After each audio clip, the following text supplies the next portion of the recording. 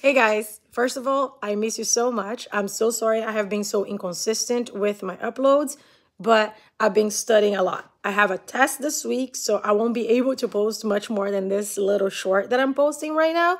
But I just wanted to tell you guys that my spring break's coming up soon, and I do want to talk about this nurse from Texas who has just received that guilty verdict um, and for medical error. And I really want to talk about it. But I do want to see with you guys if you guys have any questions about it that you want me to include in the video before I start working on it and I will try to clarify as much as I can on my video. But that's going to be my next video. As soon as I get into my spring break, I'm going to work on it and hopefully get it all done before I have to go back to school. Again, I miss you guys and hopefully I will upload the video soon. Let me know down in the comments here in the short what you want to know about it. All right? Miss you.